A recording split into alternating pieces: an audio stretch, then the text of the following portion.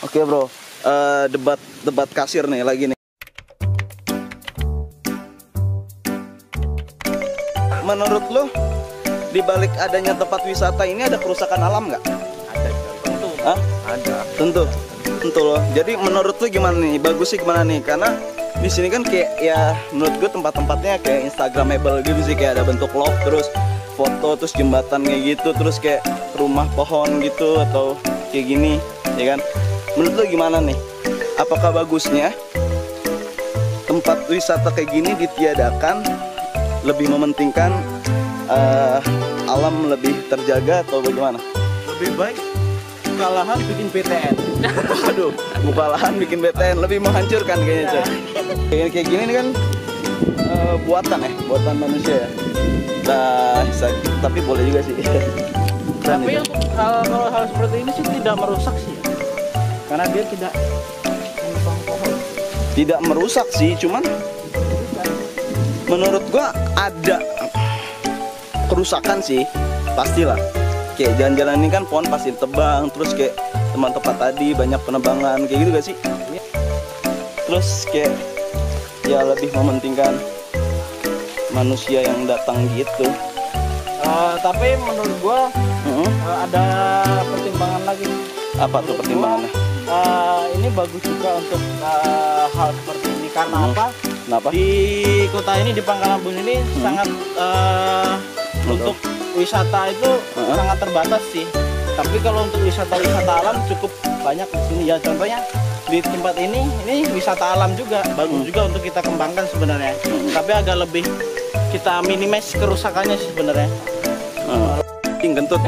Oke, lu, terus For example ya di ini sih ya di Tanjung Puting ya di sana lebih ini banget sih natural natural banget sih natural banget sih kayak Iya. kayak jungle jungle kayak maksudnya nggak ada ya bikinan manusia paling kayak um, monumen kayak Iya. cuma buat museum gitu Iya. sisanya tetap alam bro buatan alam jadi nggak kayak kalau gua sih ya pribadi gua ya gua udah ke beberapa tempat kalau menurut gua sih gua kurang setuju sih men kalau menurut gua nih Yoi. kalau menurut gua emang kan perspektif orang beda-beda nih That's true.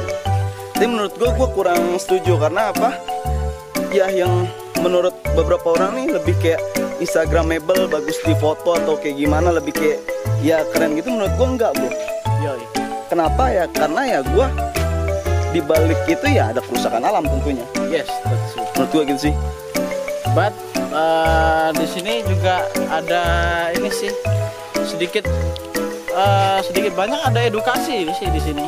Sedikit edukasi. For example, apa uh, di setiap sudut diberikan tempat sampah. ah Is that true? Not edukasi for children, for Ya, adult ya, and uh, everything. oke oke oke di berarti berarti di sisi lain menurut lu bagus ya Bagus karena sih. edukasi juga memperkenalkan anak-anak juga ke jungle That's gitu kan right.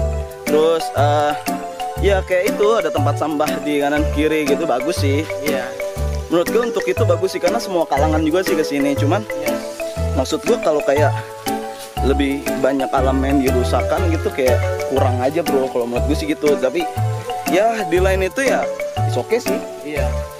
Uh, but uh, apa suatu hal yang besar tuh memang ada resiko yang harus diterima sih bro. Ya contohnya untuk tempat ini lo bisa dibilang termasuk tempat yang besar bro. iya Nah jelas itu dia resikonya ya emang ada di kerusakan itu tadi.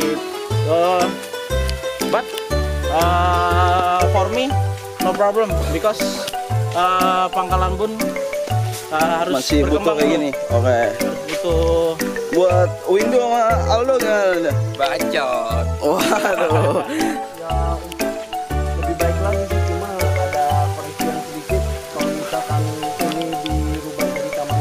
otomatis ikannya hilang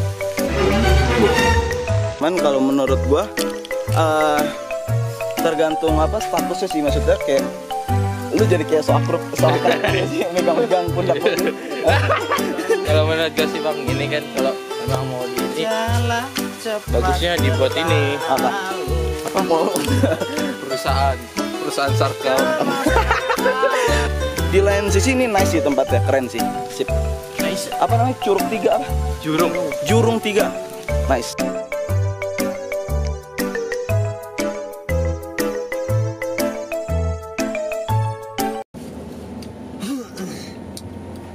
model-model buah kayak manggis ada eh, bir biji gitu makan dulu Nduk.